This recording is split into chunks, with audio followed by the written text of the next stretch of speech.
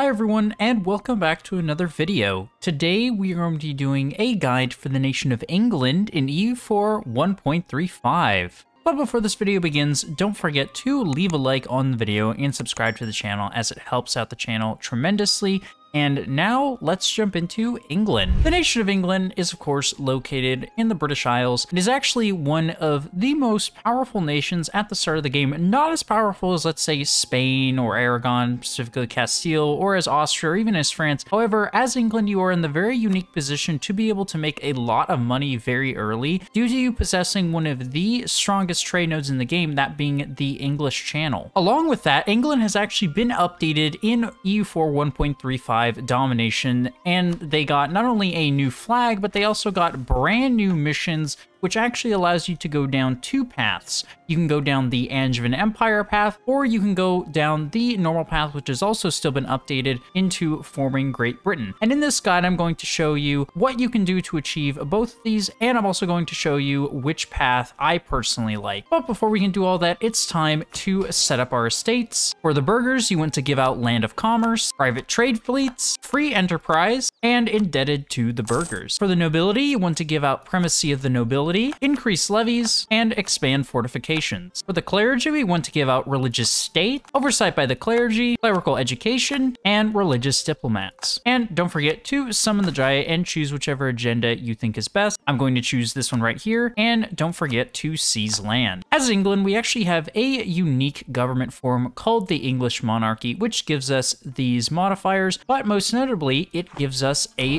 parliament. So after you assign all of your state stuff, it's time to start a debate in our parliament. Choose whichever one is best for you. The parliament debates have actually been updated in 1.35 and can give you some amazing modifiers here, such as expansion of the bureaucracy, things that decrease culture conversion costs, get a bunch of sailors, get a bunch of stuff for your navy, get a bunch of stuff for your army. However, I'm going to choose this one right here, the Black Act, most notably because it gives you plus three stability right off the bat. And I must tell you that this is not always available at the start of the game. A lot of these are random randomized depending on what is going to happen. So just choose whichever one is best for you. Honestly, I would say choose the one that gives stability as that's free stability and who doesn't like free stability and you are going to lose stability with the War of the Roses anyway. So I'm going to choose the Black Act right here. However, depending on what's available, just choose whichever one you think is best. So select it here and if you don't know the way the parliament works is you just have to give some bribes out to politicians kind of like in real life. So just choose which one is best. I'm going to placate the clergy. I'm going to lose those 59 sailors, and I'm just going to give some of this admin power. And there we go. We got plus three stability. Very nice. You also are going to get this pop-up called Too Few Seats in Parliament. Don't worry, if you just let time pass, the game will automatically assign some seats anyway. However, if you want to assign them manually for whatever reason,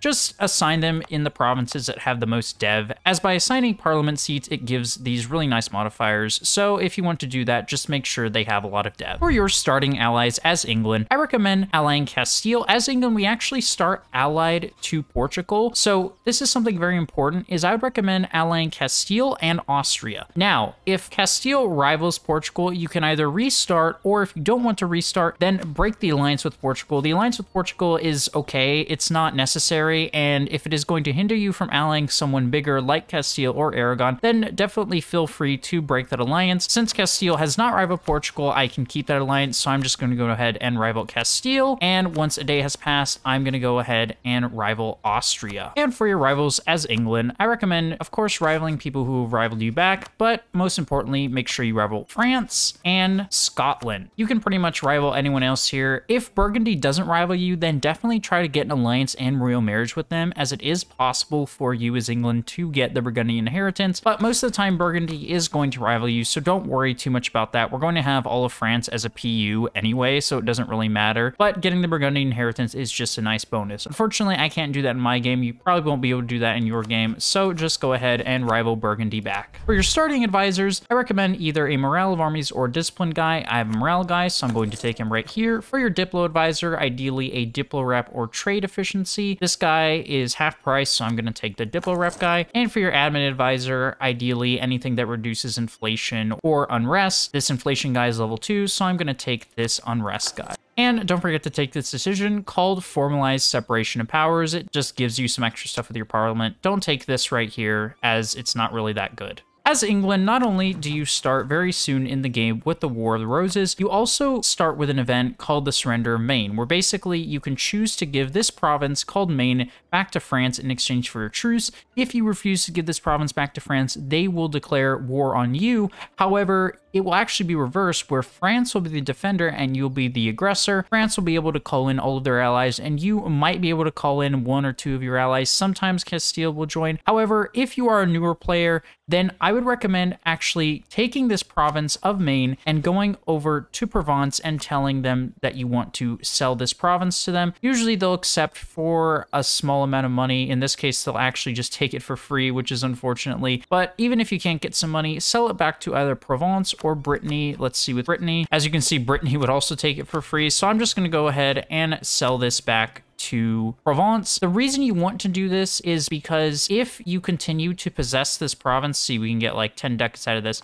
If you continue to possess this province, the French will, of course, declare war on you. And honestly, if you are a skilled player, then I'm sure you can beat them. However, like I said, this guide is made for newer players. And if you're someone who can go ahead and fight France really without giving Maine back, then you probably don't need a guide. But this guide is made for people who might be playing England for the first time in 1.35. And like I said, just sell Maine back to Provence, and you will be able to complete this mission called the Hundred Years' War, which I'll show you what this mission does in just a second. Now, something that has been added in EU4 1.35 is this new thing here. Now, not the Hundred Years' War, but in fact, this mission that allows you to choose two paths. You can either choose between the British missions, which will allow you to form Great Britain, or you can choose the Angevin missions, which allow you to basically annex all of France. However, you cannot form Great Britain with that mission tree, so do keep in mind. And like I said, you can choose, you can choose the British missions where it'll give you minus two national unrest and some dev costs, or you can choose this one, we cannot abandon our Angevin claim, where it'll give you a force union CB on France and a bunch of claims in Champagne and the France area. I'm going to choose this bottom one right here as number one, it's new, and number two, I do think it is the most fun for both new and experienced players alike. If you want and you want to just form Great Britain, then there's nothing wrong with taking this part. The Great Britain mission tree has also been revamped and has a lot of flavor as well. However, I'm going to choose We Cannot Abandon Our Angevin Claim. And a couple months after the game starts, you're going to get this looming disaster called the War of the Roses. Don't worry, don't panic. It's going to happen regardless of what you do. I'm going to show you how you manage this disaster and how you can come out of it stronger than ever. But for now, what we're going to go ahead and do is after completing this mission called the Hundred Years' War, you want to complete this this next mission called Raise an Army, where this will give you claims on all the British region and also give you claims and a subjugation CB on Scotland. So in order to do that, it's very easy. You just need to have your army size of at least 80% of the force limit. So just build a couple of regiments in each of these armies here and go to these merc stacks and you can hire pretty much whichever one you want. I'm going to just hire the cheapest one, which is the free company. And once you do that, you should actually go over your force limit. And there we go. After hiring that merc stack, you don't even have to hire those extra regiments that I said in the armies. It just helps make your army a little bit stronger. You can complete this mission called Raise an Army, which will give you a subjugation CB on Scotland, which is really nice. But more importantly, it'll actually give you claims on not only all of Scotland, but all of Ireland, which is where we're going to be expanding first. And now it is time to declare your first war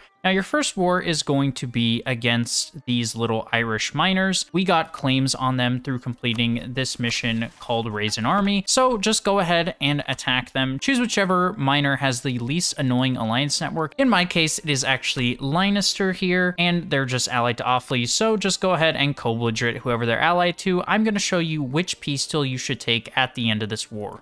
And so for your peace deal with Leinster or whichever Irish minor you're going to be fighting, whether you're fighting two or three, just make sure that you vassalize at least one of them. Now, the reason you want to do that is because you want to reduce the unrest in Ireland. So if you vassalize one of these Irish minors and you feed them all of Ireland, you're still going to be able to complete your mission tree, but it will significantly reduce the unrest since all of these provinces are Irish and Catholic, and if you hold them, you're going to have to deal with constant rebellions and constant uprisings by the Irish here. So I recommend instead of just holding all this yourself and not only dealing with the rebellions, but also having to spend admin points with it. Instead, I recommend just vassalizing one of these Irish minors. It doesn't really which one you vassalize. They're pretty much all the same. So just vassalize one of the Irish minors of course, annex them, but then release them from your diplomatic stream, which I'll show you how to do so you don't get that penalty for forced vassalization and you won't have to spend the Diplo points. So just go ahead. I'm taking both of these guys. I'm just going to feed it all back to Leinster anyway. So just go ahead and fully annex these nations and then release one of them as your vassal. And of course, take all of their money. And once you hold these provinces, go ahead and create a subject. I'm just going to go ahead and release Leinster, create a subject, and just feed them all of these provinces that you get here in Ireland. And what you want to be doing for all of these Irish minors is just attacking them and fully annex them. See if you can co-belligerate people. Keep in mind, you want to be feeding these provinces to your vassals, so co-belligering someone on the other side of Ireland really is not good. It really doesn't make anything go any faster. Uh, if you want, you can still co-belligerate them, but you won't be able to feed it to your vassal anyway, so do keep that in mind. We don't want to have more than one vassal in Ireland. We just want to have one, as that'll take up the Diplo slots. So just co-belligerate whoever you can. I'm just going to co-belligerate these guys, even though I can't take them. And this is going to be the same pattern that you're going to be doing for all of these Irish minors. I'm not going to show you the thing for all of them since it's the same thing. It's just you attack them, co-belligerate someone if you can, and fully annex them. And do this while you're waiting for the looming disaster of the War of the Roses to tick up. However, keep in mind, once this disaster fires, you are going to need most of your armies, if not all of them, back on the English mainland to help deal with the rebels. And by this point in the game, you will get this event called the War of the Roses, where basically you can choose between the Lancaster and the House of York. I would recommend choosing whichever one gives you the most stats. The stats are random. Sometimes the Yorkists are better, sometimes the Lancastrians are better. Uh, the spread is actually different, but the total amount amount of points is the same. So I'm just going to choose the Lancaster since I like their mana spread the most. However, it really depends. Just choose whichever one gives you the most mana points. In my case, I'm going to choose Philip the First. And like I said before, you are going to need to pull most of your armies back to the mainland in order to fight these rebels. These rebel stacks are actually quite numerous and quite large and also quite powerful. So do watch out when you're fighting them. Just group your armies up together and you should have no problem. Usually around this time in the game, you're going to get this decision here called Designate Calais as the Staple Port. Just go ahead and do this. You'll lose a little bit of admin power, but this province here, assuming that you keep a hold of Calais, will become an absolutely amazing trade province. And once you kill all of the rebel stacks, you will be able to get this pop-up called the End of the War of the Roses. It's going to give you a bunch of prestige and some much needed stability. And once the War of the Roses is over, you will complete this mission called War of the Roses. It will give you some stability, minus 10 aggressive expansion impact, which is very powerful, and some nobility loyalty equilibrium.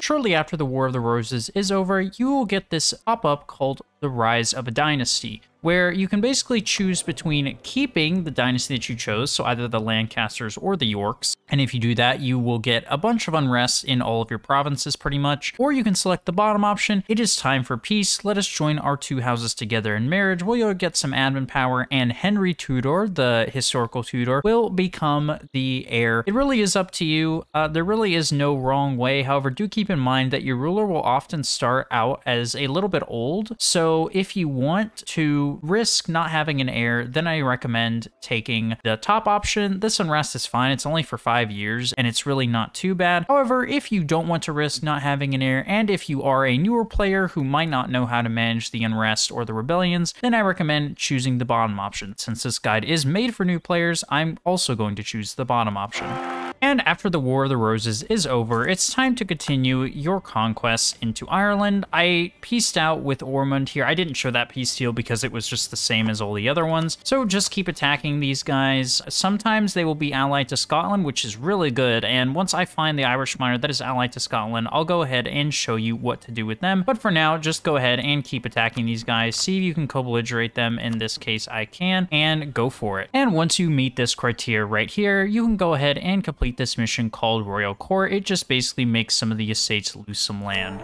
And now it is time to see if you can force Scotland to annul their alliance with France. Oftentimes you can do this as many times Scotland will ally at least one or two of the Irish minors. They do that in an effort to try and stop you from conquering it, but the AI doesn't understand that you can just attack them and then devastate Scotland and make them annul their alliance with France. So that's what we're going to go ahead and do. I'm going to attack Kildare here. In my game, they're actually allied to two Irish minors So I'm just going to go ahead and attack Kildare. Do not co-belligerate Scotland as that would call in France. To just attack Kildare, siege down Scotland, and make them annul their alliance with France. For your first government reform as England, I recommend strengthen noble privileges for the extra manpower. And so for your peace deal with Scotland, if they're still allied with France, of course, just make them break their alliance with France. And if they're allied to, let's say, Ulster or something like that, you can go ahead and make them break their alliance. We don't really want to take any money or war reps as we want to be able to attack them or that CB or we can make them a subject as soon as possible. So just do that, make them annul their alliance with France and anyone else if you'd like to do that as well. And of course, like all of the other Irish minors, just take them, fully annex them, and take all of their money. And now it is time to declare likely what is going to be your hardest war, at least in the earlier game, and that war is going to be against France. We want to declare this war against France as soon as possible, as the longer you wait to fight France, the more powerful that they become. They complete mm-hmm. sections of their mission tree, they annex vassals, and they start to get their big morale bonus, which is called the Elan. If you fight France very early like this, they won't have that many provinces, and they won't have their Elan. So make sure that by this point in the game, as long as your two allies of Castile and Austria will join, make sure that you attack France. Now, this is an important distinction that I want to make. Attack France not for the Conquest CB, but for the Force Union, as from the Angevin mission tree, we want to get a PU under France so we can basically own pretty much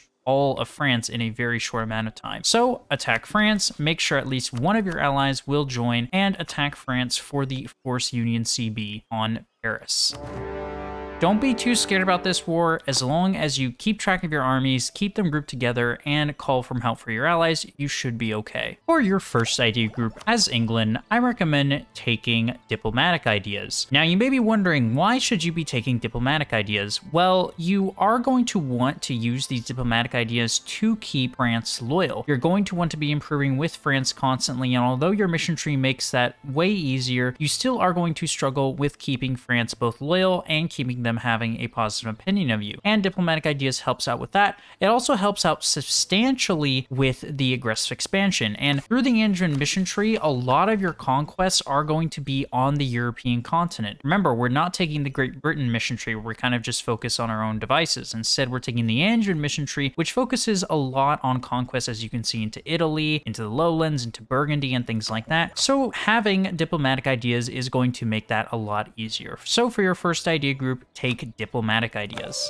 And so for your peace deal with France, make sure you go into the treaties tab and select union with France. What you also want to do is take your core in Armagnac. And the reason you want to do that is because it's your core. And in order to complete this mission later down the road to shatter the French nobility, we are going to have to own about 20 provinces here in the French region. So take your core in Armagnac, take all of the French money, make sure there is a union with France, and go ahead and send it. And as you can see, we now have a personal union with France, and we can go ahead and complete this mission called Seize France's Throne. It's going to give us a bunch of prestige, and if we're at 100 prestige, it'll convert all of that into excess mana power, which is huge. But the most important thing here is that it is going to make improving with France and keeping France loyal a bit easier than it was in previous patches, although with diplomatic ideas, it's going to be even easier. After forcing France into a union, you of course want to send a diplomat to start improving with France immediately, and after you do that, you want to take this national decision called the French-English Reconciliation Act. This will give you some extra prestige and some extra mana, and it'll also make France a lot easier to keep loyal. So go ahead and take this, and once you do that, and you're able to do that, it will present itself as a Parliament Act. So as you can see here, you can go ahead and do the normal things you do with the Parliament, so give out all these other little things here, and there you go. Now you have the French-English Reconciliation Act. And now it is time to finish up fully annexing Ireland just go ahead and do what you've been doing the entire time. Full annexation, co-belligerate people if you can. I can't co-belligerate them since Scotland would join, and I'm trying to wait for that truce to be over with them, so I'm just still going to annex Thomond, but just not co-belligerated. Don't worry, and just go in and attack them. And once you fully conquer Ireland, whether you hold it yourself or not, you can complete this mission called Conquer Ireland. It's going to give you some admin power and some wonderful goods produced modifiers. And after fighting all of those Irish wars as well as the war against the French, you likely have quite a bit of aggressive expansion with your neighbors as with people within the HRE. So it's time to chill for about five years or so, let the aggressive expansion tick down and get ready to attack Scotland. You can of course attack Scotland by this point. However, if you do that, you really won't be able to subjugate them or take most of their provinces since the aggressive expansion is ridiculously high. And once your truce is over with Scotland, and once you have allowed aggressive expansion to tick down a bit, it is time to declare your war against Scotland. You want to declare your war against Scotland for the subjugation CB in the event that you are declaring on Scotland later than I am and the subjugation CB has expired, which is quite possible, especially if your AE is pretty high, then just go ahead and declare for a conquest war. You will not be able to annex Scotland outright in one war. It will take two wars. However, if you are using the conquest CB, then just of course declare for that one and take as much as you can. However, if like me, you still can use a subjugation CB, then of course use a subjugation CB and attack Scotland. For your tier 3 government reform as England, I recommend taking expanded royal court. For your peace deal with Scotland, what you want to go ahead and take is of course make them your vassal, select the English vassal option here. Now, one of the things that is unfortunate is if Scotland has not annexed their starting vassal of the Isles, then you will almost certainly be dragged into a war along with them. Now, in order to complete our mission right here, which acquires us to subjugate Scotland, you or Scotland will unfortunately have to own all of these provinces here. Unfortunately, taking Scotland in a peace deal such as this, making them your vassal, will of course allow you to make them your vassal. However, you cannot fully annex the Isles, so you will have to go back for a second war against them. So just take either of these provinces and take all of the Scottish money.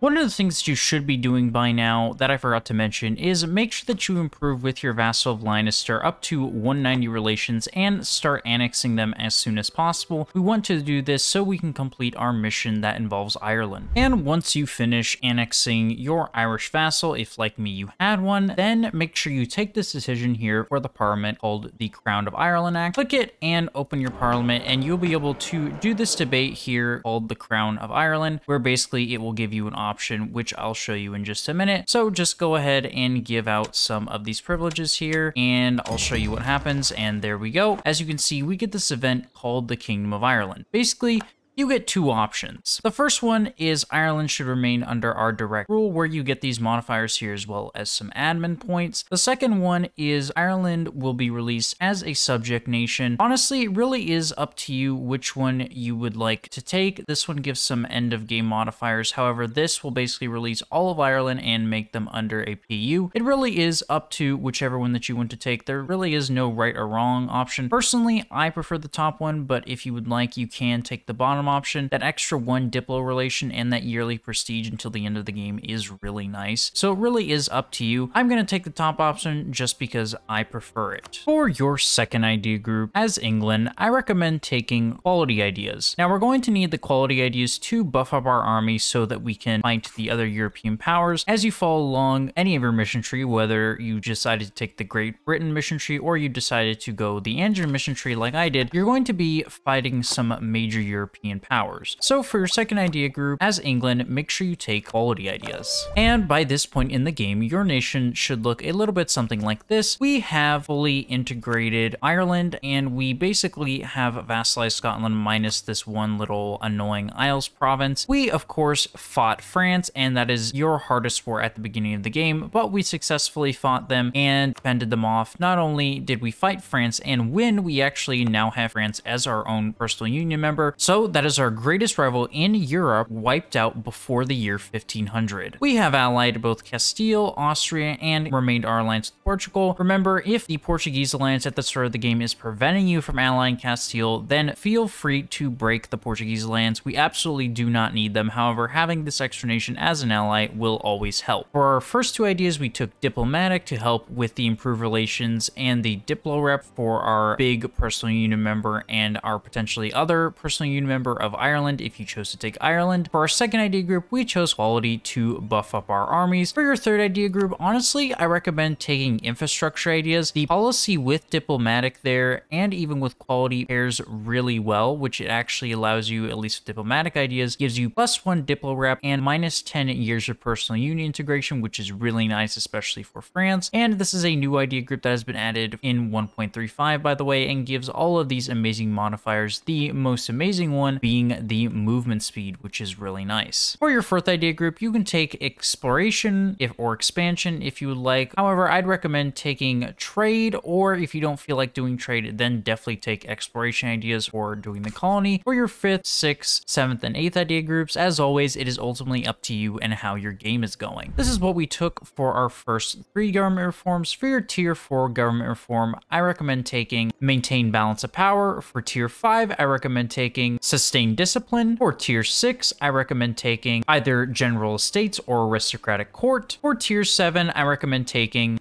meritocratic recruitment. For tier 8, I recommend taking Curtail the Burghers. For tier 9, I recommend taking this one right here. For tier 10, if you're struggling with GovCap, then take L'Etat moi. However, if for some reason you're not struggling with GovCap, then take Divine Right. And for tier 11, take Right to Petition. This is what we took so far for our mission tree. The mission tree in EU4 1.35 has been completely revamped for England and allows you to take two paths, either the Great Britain mission tree path or the Angevin Empire path. In this guide, I chose the Angevin Empire as that is what a lot of people are taking, especially new players, since it was added in the most recent update. And I wanted to show you how you go down that path. Is honestly probably the most fun out of all the paths, and I'm definitely looking forward to continue to play this game. As you continue on with your nation, you of course will take this province from the Isles if Scotland did not annex them. You, of course, will continue to expand to Europe. Keep in mind you have a bunch of claims in the French region and into Burgundy, and you also have claims that France has built up as well, so you'll go ahead and continue to use those. You will continue to progress down your mission tree, eventually annexing France once you meet all the requirements, and once you do that, you will absolutely start to snowball and be able to destroy anyone on the European continent. Along with that, you can also start colonizing and have a massive colonial empire along with having your great European European Empire if you choose to take exploration ideas. However, you really do not need exploration ideas to be a successful nation as England if you take the Angevin Empire path. That path will basically allow you to become an absolute powerhouse on the European continent. By the way, if you like England and you like this England game, I actually have been streaming England over on YouTube, still here on YouTube, but I've been streaming it on a live stream. I try to do this every Saturday so if you want to check that out, make sure that you go and check out the live stream. But for now, thank you very much for watching, and don't forget to leave a like on the video and subscribe to the channel. Another thing that I wanted to add, I recently have a Discord. I now have a Discord, and if you wish to join the Discord and join an amazing community of EU4 players and as well as other Paradox game players, and if you have any questions or you want to ask me or just contact me directly, don't forget to join the Discord down below. It's going to be a link in the description. But for now, Thank you very much for watching, and I'll see you next time.